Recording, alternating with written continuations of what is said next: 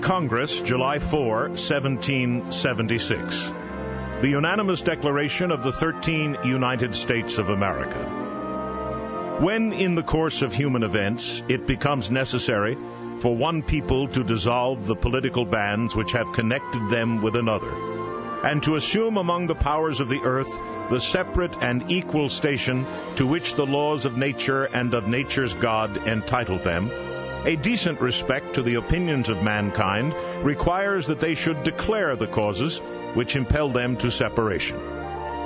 We hold these truths to be self evident that all men are created equal, that they are endowed by their Creator with certain unalienable rights, that among these are life, liberty, and the pursuit of happiness, that to secure these rights, governments are instituted among men, deriving their just powers from the consent of the governed. That whenever any form of government becomes destructive of these ends, it is the right of the people to alter or to abolish it, and to institute new government, laying its foundation on such principles and organizing its powers in such form as to them shall seem most likely to effect their safety and happiness. Prudence indeed will dictate that governments long established should not be changed for light and transient causes, and accordingly all experience has shown that mankind are more disposed to suffer, while evils are sufferable, than to right themselves by abolishing the forms to which they are accustomed. But when a long train of abuses and usurpations, pursuing invariably the same object, evinces a design to reduce them under absolute despotism, it is their right, it is their duty to throw off such government and to provide new guards for their future security. Such has been the patient sufferance of these colonies, and such is now the necessity which constrains them to alter their former systems of government. The history of the present King of Great Britain is a history of repeated injuries and usurpations, all having in direct object the establishment of an absolute tyranny over these states. To prove this, let facts be submitted to a candid world. He has refused his assent to laws, the most wholesome and necessary for the public good. He has forbidden his governors to pass laws of immediate and pressing importance, unless suspended in their operation, till his assent should be obtained, and when so suspended, he has utterly neglected to attend to them. He has refused to pass other laws for the accommodation of large districts of people unless those people would relinquish the right of representation in the legislature, a right inestimable to them and formidable to tyrants only. He has called together legislative bodies at places unusual, uncomfortable, and distant from the depository of their public records, for the sole purpose of fatiguing them into compliance with his measures. He has dissolved representative houses repeatedly for opposing with manly firmness his invasions on the rights of the people. He has refused for a long time, after such dissolutions, to cause others to be elected, whereby the legislative powers, incapable of annihilation, have returned to the people at large for their exercise. The state remaining in the meantime exposed to all the dangers of invasion from without and convulsions within. He has endeavored to prevent the population of these states, for that purpose obstructing the laws for naturalization of foreigners, refusing to pass others to encourage their migrations hither, and raising the conditions of new appropriations of lands. He has obstructed the administration of justice by refusing his assent to laws for establishing judiciary powers. He has made judges dependent on his will alone for the tenure of their offices and the amount and payment of their salaries. He has erected a multitude of new offices and sent hither swarms of officers to harass our people and eat out their substance. He has kept among us in times of peace standing armies without the consent of our legislatures. He has affected to render the military independent of and superior to the civil power.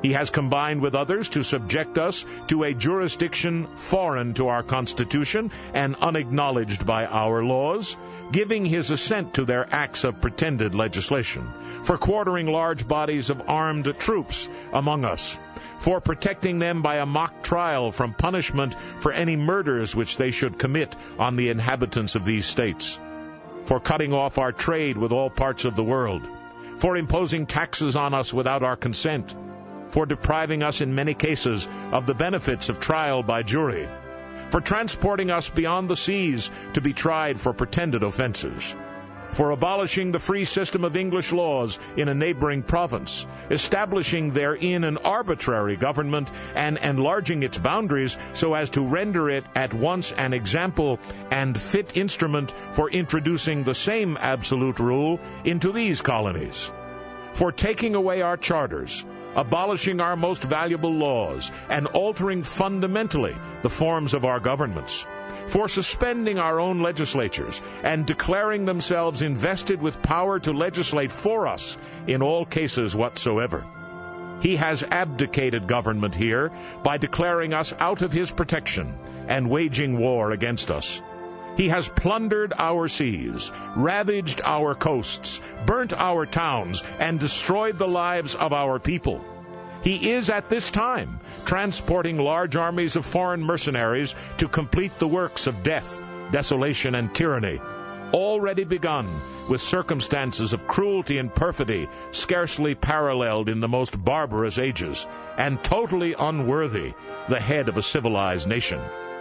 He has constrained our fellow citizens taken captive on the high seas to bear arms against their country, to become the executioners of their friends and brethren, or to fall themselves by their hands. He has excited domestic insurrections amongst us, and has endeavored to bring on the inhabitants of our frontiers, the merciless Indian savages whose known rule of warfare is an undistinguished destruction of all ages, sexes, and conditions.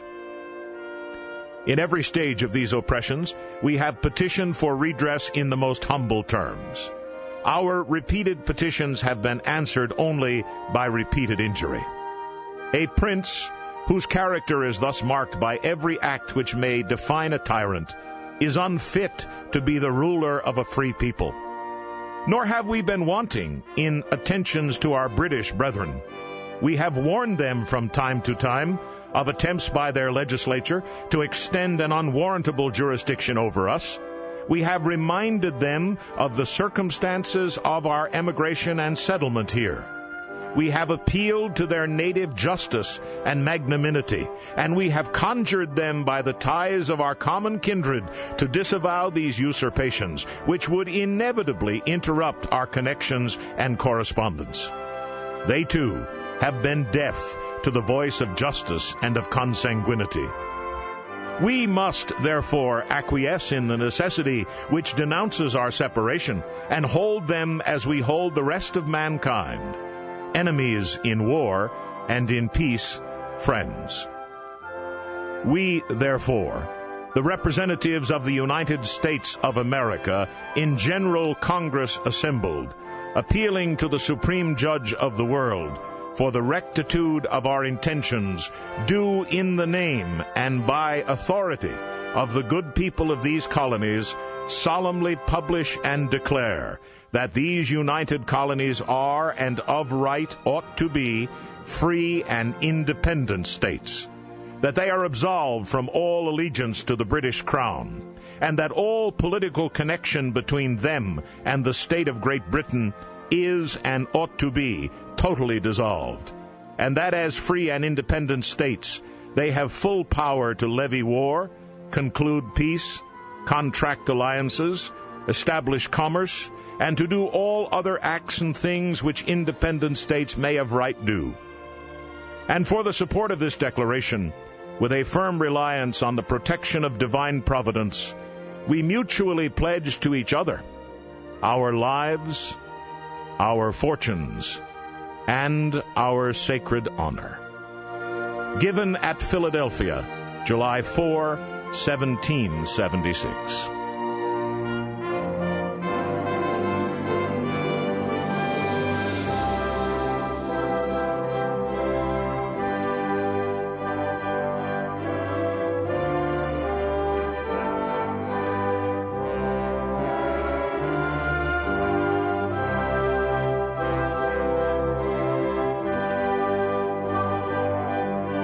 Well, it is a most remarkable document if you think about it, and I hope you'll have an opportunity this weekend, as I express each year, to read it again. It's very short.